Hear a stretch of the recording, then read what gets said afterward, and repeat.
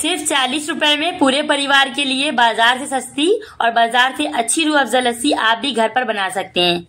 सबसे खास बात इस लस्सी की यह है कि ये बहुत ही रिच और क्रीमी सी बनकर तैयार होगी और आप इसे घर पर बनाएँगे तो बहुत ही प्योर और हेल्दी भी होने वाली है और बहुत ही कम सामान से मिनटों में लस्सी बनकर तैयार हो जाती है। गारंटी है सिर्फ़ पाँच मिनट में आप इसे बनाकर तैयार कर सकते हैं।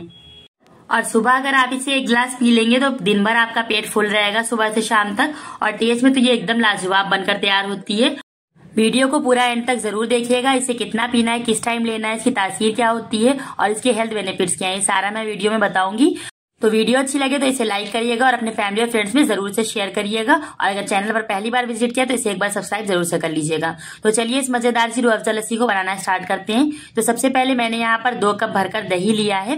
तो ये ताज़ा जमा हुआ अच्छा दही लेंगे। घर का जमा हुआ दही भी आप ले सकते हैं। तो ये मेरा एक कप ढाई सौ का है। तो दो कप भरकर मैंने यहाँ पर दही लिया, यानी कि आधा किलो मैंने टोटल दही यहाँ पर यूज़ किया है। अच्छी लस्सी बनाने के लिए आपको गाढ़ा मीठा दही का इस्तेमाल करना है। साथ में मैंने यहाँ पर 250 सौ दूध लिया है और आधा कप शक्कर ली है मैंने 125 ग्राम। आप अपने टेस्ट के हिसाब से इसको कम ज़्यादा भी कर सकते हैं। साथ में 50 एम के बराबर मैंने रोज सिरप यानी रू अफजा लिया है। ये ऑप्शनल है, अगर आप डालना चाहते हैं तो डालें, वरना स्किप भी कर सकते हैं। साथ में मैंने फ्रेश क्रीम यानी दूध के ऊपर की जो मोटी मलाई होती है, उसे मैंने लिया इसे हम गार्निशिंग में इस्तेमाल करेंगे। तो रू अफजा के गर्मियों में बहुत सारे हेल्थ बेनिफिट्स भी होते हैं और इससे इसका टेस्ट बिल्कुल नेक्स्ट लेवल पे आएगा। साथ में वन टीस्पून के बराबर हमें इलायची पाउडर का इस्तेमाल करना है। जो हरी वाली इलायची थी, उसका मैंने सिंपली मिक्सर में पाउडर बना लिया था, उसे हम यहाँ पर इस्तेमाल करेंगे। साथ में हम कुछ ड्राई फ्रूट्स लेंगे, जिससे हम इसको गार्निश करेंगे। तो बारीक कटे हुए बादाम और बारीक कटे हुए पिस्ते मैंने यहाँ पर ले लिए हैं।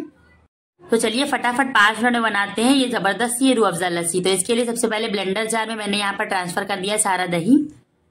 सिर्फ़ दही और शक्कर से भी आप लस्सी बना सकते हैं, लेकिन ये जो इंग्रेडिएंट्स यहाँ पर हम ऐड कर रहे हैं, इससे बहुत ही ज़बरदस्त टेस्ट के साथ और बिल्कुल नए टेस्ट के साथ आपकी लस्सी बनकर तैयार होगी। तो ये सारी चीज़ें ही गर्मी में बहुत फ़ायदा करती हैं। साथ में यहाँ पर हम दूध भी इसमें ऐड कर देंगे।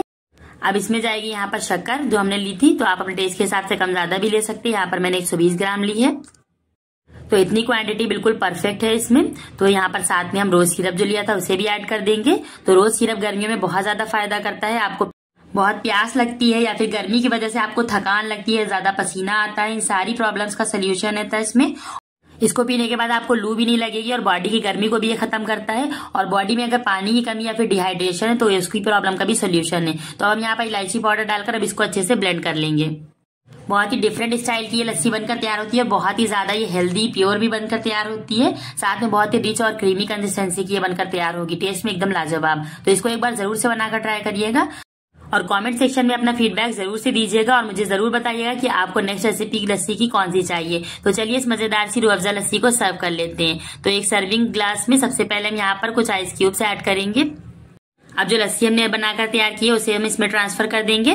गर्मियों में लस्सी पीने के बहुत ढेर सारे फ़ायदे होते हैं। रोज़ाना लस्सी पीने से आपके दांत मज़बूत होते हैं डाइजेशन इंप्रूव होता है, आपका कब्ज खत्म होता है, गैस और एसिडिटी की प्रॉब्लम भी खत्म हो जाती है और इससे आपकी हड्डियाँ मज़बूत होती हैं और गर्मी की वजह से आपके बदन दर्द या थकान कमज़ोरी लगती है तो लस्सी पीने से ये खत्म हो जाती है। अब हम ऊपर से डालेंगे गाढ़ा जमा हुआ दही और साथ में हम इसके ऊपर से जो हमने फ्रेश क्रीम यानी कि ताजी मलाई ली थी, उसे हम इसके ऊपर ऐड कर देंगे।